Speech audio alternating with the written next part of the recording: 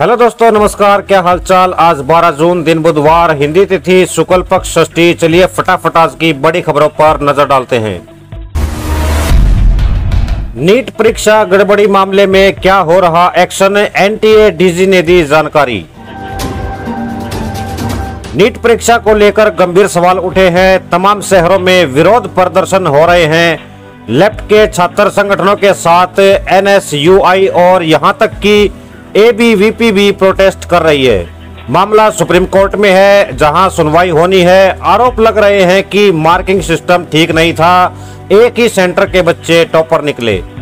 ये जो एक 2018 का सुप्रीम कोर्ट का जजमेंट था, उसमें एक फॉर्मूला दिया गया था। उसके बेसिस पे कैलकुलेट किए गए थे कि बच्चे ने जितना टाइम किया और टाइम लॉस हुआ। कि जितने टाइम में कितने क्वेश्चन किए, उसमें कितने सही किए, कितने गलत किए और जो लॉस हुआ, उसी के हिसाब से उसको एक एक फार्मूले के तहत उस लॉस में उतने टाइम क्वेश्चन और कर लेते तो उसके बेसिस पे उनके मार्क्स रिवाइज किए गए। ये जो कंसर्न्स आ रहे थे कि कुछ बच्चे एक सेंटर से उनको ज़्यादा मार्क्स मिल गए टॉप कर गए और इनको ज़्यादा ऐसा लग रहा था कि ये डिस्प्रपोर्शनेट मतलब आउट ऑफ़ प्रपोर्शन मीडिया में या स्टूडेंट कम्युनिटी में जा रहा था ये इशू तो ये इशू को एक बार फिर से रिविजिट करने के लिए एड्रेस करने के लिए हमने एक हाई पावर्ड कमेटी बनाई है, जो इसको देखेगी कि जो रिकमेंडेशंस हमारी ग्रीवांस डिसल कमेटी ने दी थी, उसको एग्जामिन करेगी और उसके बेसिस पे अपनी रिकमेंडेशंस देगी अबाउट एक हफ़्ते के समय में और उसके बेसिस पे हम निर्णय ले लेंगे।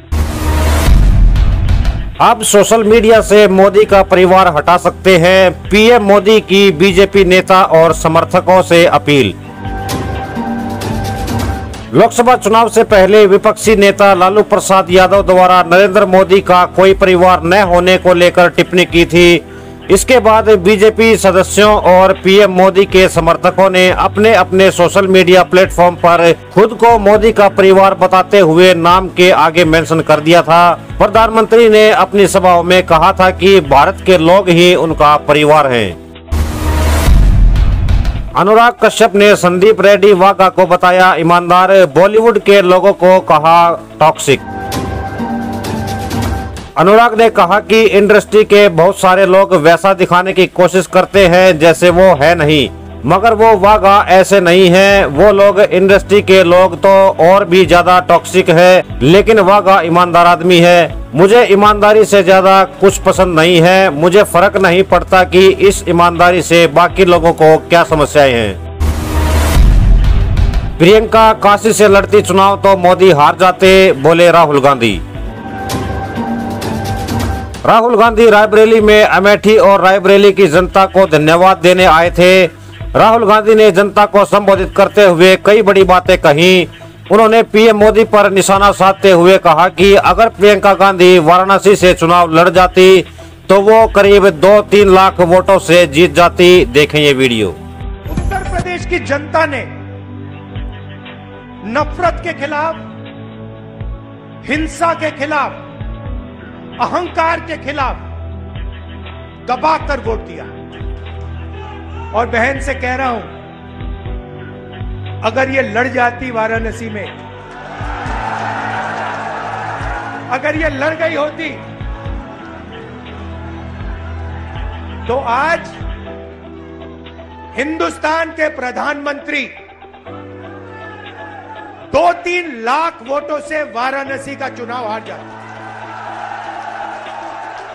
ये एक ऐतिहासिक जीत रही।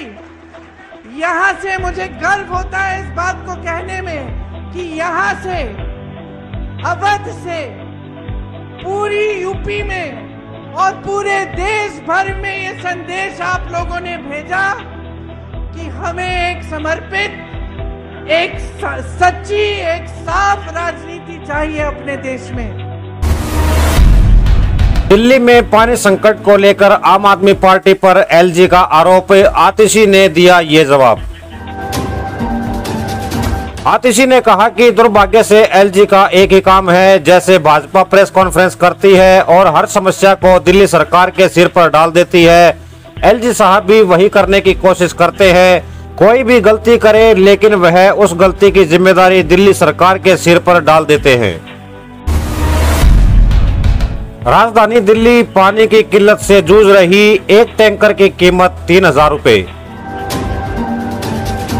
राजधानी दिल्ली में पानी पर राजनीति गर्मा गई है। पानी के लिए दिल्ली वाले मारामारी कर रहे हैं। एक टैंकर की कीमत इक्कीस सौ रूपए और डिस्काउंट पर पंद्रह सौ रूपए प्रति टैंकर है, जिसमें बारह हज़ार लीटर पानी आता है। इतना ही नहीं, जानकारी के अनुसार अगर पानी छत पर रखी टंकी में पहुंचाना है तो अलग कीमत देनी होगी और तब एक टैंकर तीन हज़ार रूपए का पड़ेगा।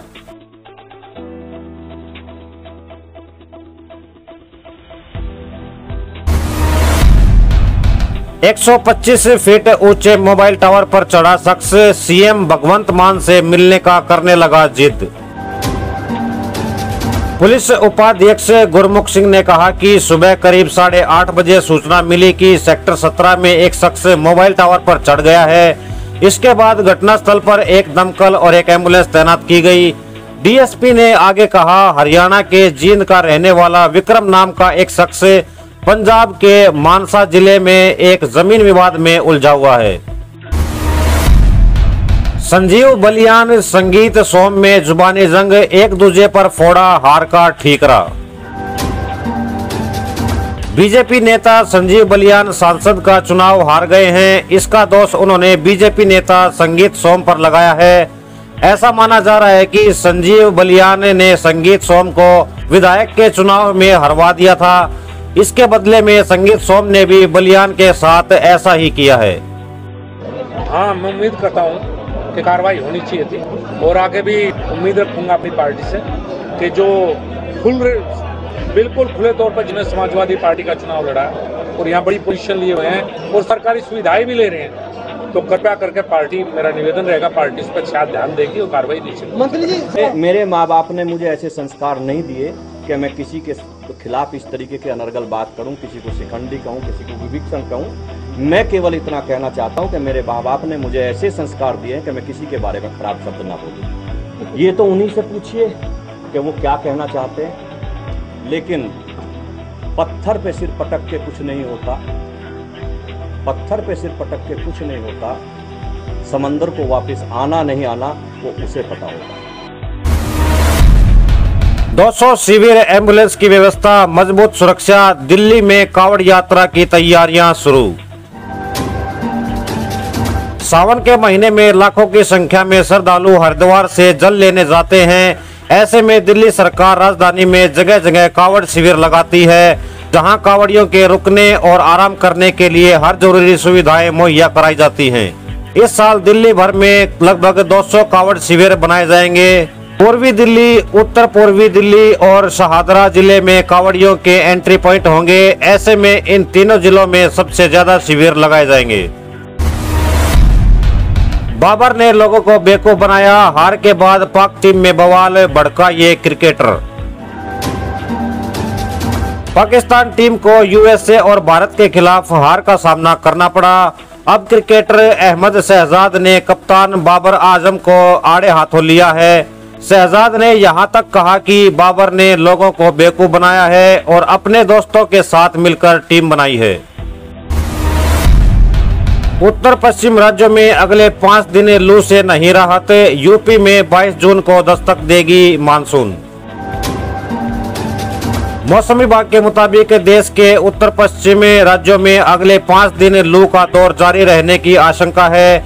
इस दौरान तापमान में दो से तीन डिग्री सेल्सियस की बढ़ोतरी दर्ज की जा सकती है। वहीं उत्तर प्रदेश में 22 जून को मानसून की एंट्री होने की संभावना है। इस वीडियो में फ़िलहाल इतना ही। हम मिलते हैं फिर किसी नई वीडियो में नए टॉपिक के साथ। तब तक के लिए जय हिंद, जय भारत।